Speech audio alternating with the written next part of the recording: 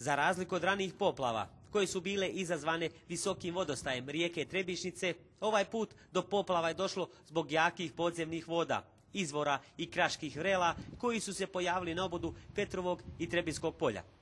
Prema podacima koje smo dobili iz hidrometeorološke stanice, samo u periodu od 7 do 13 časova u Trebinju je palo čak 50 litara kiše po kvadratnom metru. U prigradskom naselju Aleksina Međa poplavljen je istoimeni restoran Dragana Salatića, a vlasnik smatra da je za sve krivac isuviše mali i uzak propust koji je napravljen ispod magistralnog puta Trebinje-Dubrovnik.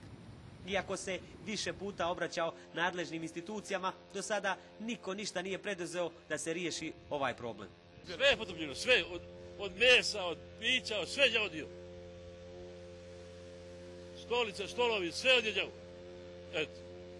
To je, to je za pet puta za pet puta. To znaju moji konobari, sve znaju tu. Jutro se otvorio normalno, to je za pola sata voda ušla ušla unutra. Evo. Šta se radi? Nemate se kome žaliti. Nema kome.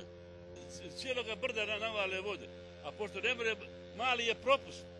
Ne more da primi sve vode i da popravi kuća. E sad, ko je tu kriv, ja ne znam. Ili je opština, ili je putevi, ili je vodoprivreda, ja pogledam ko je tu kriv. A nešto mora raditi. Vatrogasci i ekipe civilne zaštite ponovo su u pripravnosti i nalaze se na terenu, gdje velikim pumpama pokušavaju da izvuku vodu iz poplavljenih podruma i pomoćnih prostorija u najugroženijim naseljima. Obilne kiše poplavile su i magistralni put na putu Trebinje-Herceg Novi, pa se saobraćaj na ovoj dionici odvija otežano. U gradskom naselju Donji Zasad podzemne vode poplavile su put, bašte i prilaze kućama, ali za sada voda nije prodrla u kuće.